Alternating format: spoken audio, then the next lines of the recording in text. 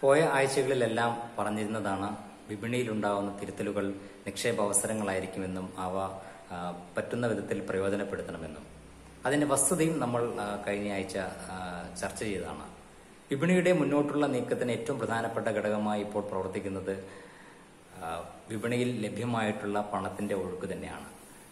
അതിനോടൊപ്പം തന്നെ പുതിയ പ്രതീക്ഷകൾ കൂടെ ഉണ്ടാകുമ്പോൾ അത് വിപണിയെ നല്ല രീതിയിൽ ഒരു പ്രചോദനം ഉണ്ടാക്കുകയും ഒരു പുതിയ നിലവാരത്തിലേക്ക് സൂചികൾ എത്തിക്കുന്നതിന് സഹായമായി പ്രവർത്തിക്കുകയും ചെയ്യുന്നു. കഴിഞ്ഞ ദിവസം തന്നെ രാജ്യത്തുണ്ടാകുന്ന പ്രതിദിന കോവിഡ് കേസുകളുടെ എണ്ണം മൂന്ന് ലക്ഷത്തിൽ താഴെ എത്തി എന്നതുണ്ടാക്കിയ ഒരു പുതിയ പ്രതീക്ഷയാണ് വിപണിയിൽ ഒരു വൻതോതിലുള്ള ഒരു നിക്ഷേപ താൽപര്യത്തിന് വഴിയൊരുക്കിയതും പ്രധാന സൂചികയായ നിഫ്റ്റി പതിനാലായിരത്തി തൊള്ളായിരം എന്ന നിലവാരത്തിന് മുകളിൽ വ്യാപാരം അവസാനിപ്പിക്കുകയും ചെയ്ത ഒരു സാഹചര്യമുണ്ടായത്.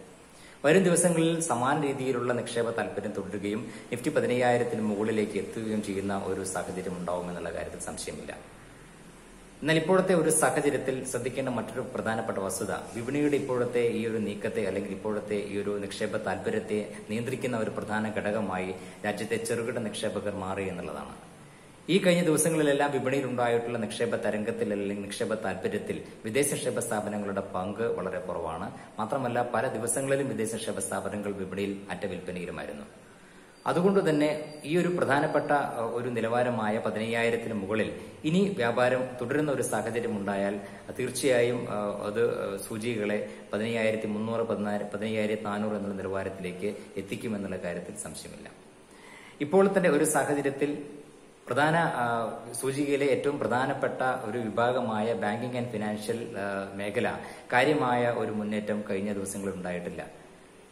എന്നാൽ അതുകൊണ്ട് തന്നെ വരും ദിവസങ്ങളിലും ബാങ്കിംഗ് ആൻഡ് ഫിനാൻഷ്യൽ മേഖലയിൽ ഏതെങ്കിലും തരത്തിലൊരു നിക്ഷേപ താല്പര്യം തുടരുകയാണെങ്കിൽ തീർച്ചയായും അത് സൂചികകളെ പുതിയ നിലവാരത്തിലേക്ക് എത്തിക്കും. കഴിഞ്ഞ ഒരു ദിവസം ബാങ്കിംഗ് ആൻഡ് ഫിനാൻഷ്യൽ സർവീസ് ഓഹരികൾ ഏതാണ്ട് നാല് ശതമാനത്തോളം ഒരു ഒരു വർധന നമ്മൾ കണ്ടതാണ്.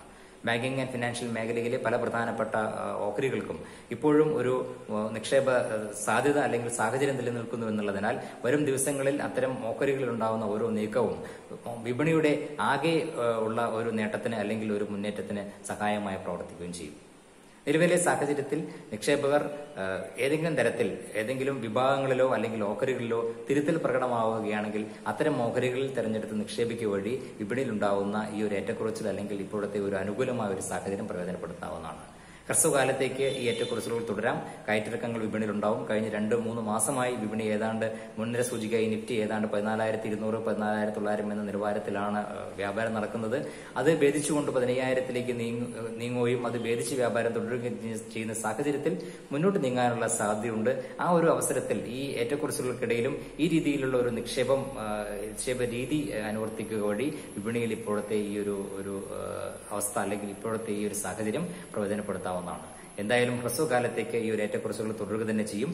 എന്നാൽ ദീർഘകാലത്തേക്ക് പ്രത്യേകിച്ചും നോക്കുകയാണെങ്കിൽ രണ്ടായിരത്തി ഇരുപത്തിരണ്ട് എന്നുള്ളൊരു വർഷം മുന്നിൽ കണ്ടുകൊണ്ട് തന്നെ കോവിഡിന്റെ പ്രത്യാഘാതങ്ങൾ അല്ലെങ്കിൽ കോവിഡിന്റെ ഏത് തരത്തിൽ ഏത് രീതിയിലുള്ള സ്വാധീനമായാലും അത് വിപണിയിൽ അത് സമ്പദ് വ്യവസ്ഥയെ ഏത് രീതിയിൽ സ്വാധീനിച്ചാലും വിപണിയുടെ നീക്കം അല്ലെങ്കിൽ മുന്നോട്ടുള്ള നീക്കത്തിന് എല്ലാ സാധ്യതകളും വിപണിയിലുണ്ട് എന്ന് ഉറപ്പ് ഉറപ്പു തരുന്നതാണ് കഴിഞ്ഞ ദിവസങ്ങളിൽ ഉണ്ടായിട്ടുള്ള വിപണിയിലുള്ള നിക്ഷേപ താല്പര്യം അത് തുടരുക തന്നെ ചെയ്യും. അതുകൊണ്ട് ദീർഘകാല അടിസ്ഥാനത്തിലേക്ക് നിക്ഷേപം ക്രമീകരിക്കുന്ന നിക്ഷേപകർ ഇപ്പോഴത്തെ ഒരു അവസരത്തിൽ വിപണിയിൽ നിക്ഷേപം തുടരുകയും അല്ലെങ്കിൽ ഉള്ള നിക്ഷേപം ഉള്ള നിക്ഷേപം വിൽക്കാതെ അല്ലെങ്കിൽ ഉള്ള നിക്ഷേപത്തിൽ നിന്ന് വിറ്റ് പിന്മാറാതെ വിപണിയിലെ ഈ അവസരം പ്രയോജനപ്പെടുത്തി ഒരു കൂടുതൽ നേട്ടത്തിലേക്ക് കാത്തിരിക്കുകയും ചെയ്യേണ്ട ഒരു സാഹചര്യമാണ് ഇപ്പോൾ ഉള്ളത്